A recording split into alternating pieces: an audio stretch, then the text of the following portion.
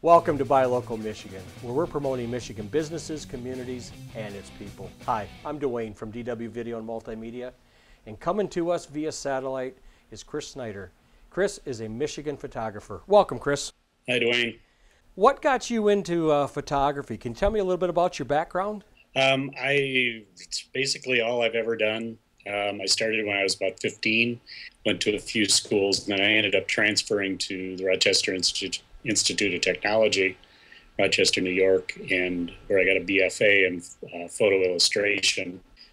Eventually, ended up in commercial work where I stayed for about 25 years, um, and now I'm teaching again. Yeah, I think I met you when you were in the commercial, when you were wearing yeah. the commercial hat, and now you're at Lansing Community College. Mm, yes, I am. Can you uh, can you tell me what do you like best about your job and why?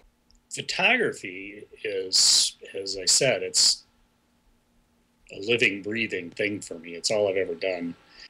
My mission in teaching is kind of uh, to keep my students from making the mistakes that I did as I as my career was developing.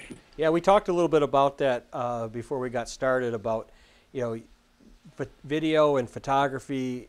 There's so many techniques, but the the one nice thing about it is that you can fail while you learn to do something better. And, yeah. and, and you're just you're just trying to get them over some of the failure humps, uh, but I guess the creative person finds different ways and innovative ways of doing things. What do you like best about uh, using Michigan as your playground? We have things that nobody else has, and um, you know, I mean, it, a lot of my work for a long time was based on water. Um, I grew up 15 or 20 miles from Lake Michigan. Uh, can you share with us kind of maybe one of your proudest moments or one thing that, that over the last, you know, your whole career that you went, wow, that, that was really cool?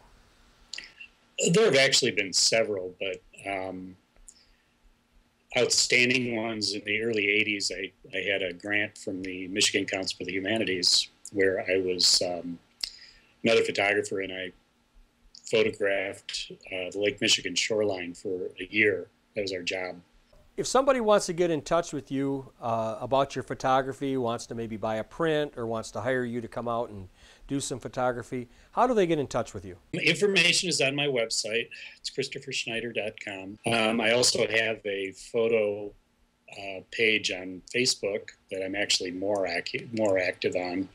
I've got several things published on a website called Luminous Landscape, which for photography people is um, kind of mecca. It's got thousands of articles on photography, and I've written several for it, and all of my information is on there too.